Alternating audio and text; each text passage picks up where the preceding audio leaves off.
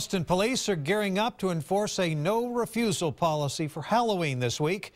The initiative begins at 9 o'clock Wednesday night and ends at 5 a.m. Thursday. That means if you refuse to give a breath or blood test, Austin police will conduct a blood test via a search warrant.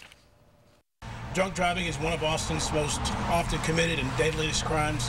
In the last three years, we've lost 54 of our citizens at the hands of these drunk drivers. Austin police are also preparing for the safety plan on 6th Street for Halloween night. Police will shut down 6th Street between I-35 and Brazos Street.